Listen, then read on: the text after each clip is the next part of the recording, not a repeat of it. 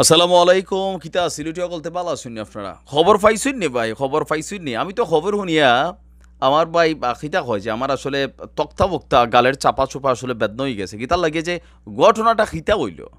আমরা ভাবলাম খিতা আর যেই আসামি গ্রেপ্তার হইল ব্যারিস্টার সুমনরে মারার লাগিয়া যে টিমটা, তার একজন যে গ্রেপ্তার করলায় পুলিশ, তার বক্তব্য শুনিয়ারে বা ইয়া তো ফাত্রা ফুয়া আমার আসলে খিতা কইতাম? আচ্ছা মৌলভীবাজার তারা চিনয়নি? স্ক্রিনে দিলাম তার ছবি সোয়াগের ছবি। আপনারা অনেকে জানেন যে ইতিমধ্যে বিষয়টা ভাইরালও আমাদের ব্যারিস্টার সুমনকে হত্যার করবে এরকম একটা চার পাঁচজনের টিম মাঠে আছে, আর সেই টিমের একজন জুনারগড় থানার ওসিকে ফোন করার পর সেই ফোন কল সুমন ভাইকে ট্রান্সফার করা হয়, এরপর কথোপকথন। যাই হোক, এটা নিয়ে খোদ সংসদ পর্যন্ত আলোচনা হয়েছে। সুমন ভাই গানম্যান পেয়েছেন, এরপরে পুলিশের বিশেষ অভিযানে সিটিটিসি তারা অভিযান চালিয়ে একজনকে গ্রেপ্তার করেছে। তার নাম হচ্ছে সোহাগ। আর এই সোহাগ আসলে কেন ব্যারিস্টার সুমনকে এই ফোনটা দিল বা কেন হত্যা করতে চায়? আসলে সোহাগের মূল উদ্দেশ্যটা কি? আপনি শুনলে হাসতে হাসতে ব্যবসা হয়ে যাবেন। আচ্ছা ঘটনা কি? সোহাগ মিয়া নামক সাতাশ বছরের যেই যুবককে গ্রেপ্তার করেছে পুলিশ, পুলিশের দাবি যে ব্যারিস্টার সুমন ভাইয়ের কাছ থেকে অর্থ আদায় করার জন্য তার জীবন ঝুঁকিতে আছে বলে গল্প সাজিয়েছিলেন সোহাগ মিয়া। আপনার হবিগঞ্জের পুলিশ সুপার আক্তার হোসেন নিজ কার্যালয়ে সংবাদ সম্মেলন করে এই সকল তথ্য জানান। মঙ্গলবার সিলেট মহানগর এলাকা থেকে সোহাগকে গ্রেপ্তার করেছিল পুলিশ। সোহাগ মিয়া মৌলভীবাজারের কুলাউরা উপজেলার মোবারকপুর গ্রামের বাসিন্দা। কারা কারা আছেন একটু কমেন্টে জানাবেন। পুলিশ সুপার আক্তার হোসেন বলছেন, পুলিশ তদন্ত করে প্রমাণ পেয়েছে যে ব্যারিস্টার সুমনকে হত্যার পরিকল্পনার কাহিনী ছিল আটক সোহাগের সাজানো গল্প। তিনি এই কাহিনী বেসিক্যালি তৈরি করেছিলেন সুমন ভাইয়ের আস্থাভাজন হওয়ার পাশাপাশি তার কাছ থেকে অর্থ উপার্জন করা। পুলিশ বলছেন যে সোহাগ নিজের পরিচয় অজ্ঞাত রাখে চুনারুঘাট থানার ভারপ্রাপ্ত কর্মকর্তা ওসি হিলুল রায়কে হোয়াটসঅ্যাপে কল করে তার কাছে সংসদ সদস্য সাইদুল হক সুমনের ফোন নাম্বার চান। তখন ওসি তার কাছে নম্বর কেন প্রয়োজন সেটি জানতে চাইলে তিনি জানান যে সংসদ সদস্যের সাথে তার জরুরি কথা আছে। তো কিছুক্ষণ পরেই আপনার শুনবেন নিরাপত্তার কথা ভেবে, তাকে ফোন নম্বরটা দেননি। কিছুক্ষণ পরে তিনি হোয়াটসঅ্যাপে একটি খুদে বার্তা পাঠান এবং তা মুছে ডিলিট দেন।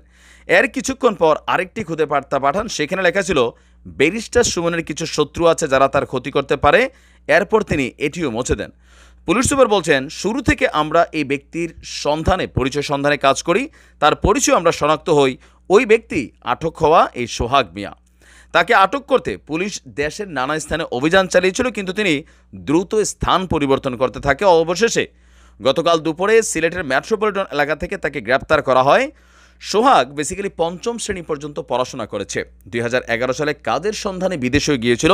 সেখানে সাত বছর অবস্থানের পর দুই হাজার আঠারো সালে বাংলাদেশে ফিরে আসে। এরপর এলাকার দশ থেকে বারো জনের কাছে পর্তুগাল নেওয়ার কথা বলে সে এখানে আট থেকে দশ লাখ টাকা করে নেয়, কিন্তু বিদেশ পাঠাতে ব্যর্থ হয়ে ভারতে পালিয়ে যায়।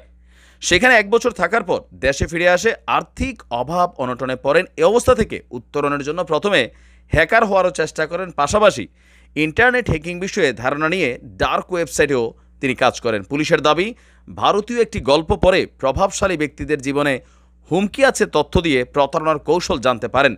বিভিন্ন ওয়েবসাইটে ব্যারিস্টার সুমনের হুমকি আছে এমন ভিডিও ক্লিপ দেখতে পান সোহাগ। তখন তার আস্থাভাজন হয়ে প্রতারণা করার পরিকল্পনা করেন, কিন্তু ফোন নাম্বার না থাকায় চুনারুঘাটের ওসিকে এসে বেছে নেয় ফোন নাম্বারটার জন্য।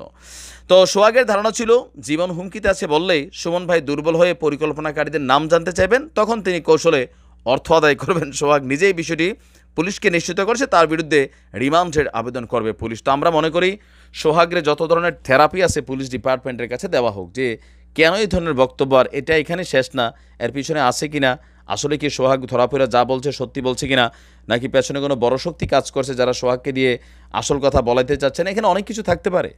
ব্যারিস্টার সুমন, দেশের সম্পদ, জাতির সম্পদ, আমরা আশা করি পুলিশ তাদের কি বলা যায় একটা সফল রিমান্ড শেষে আরও তথ্য আমাদেরকে জানাবে। ভালো থাকুন, আসসালামু আলাইকুম।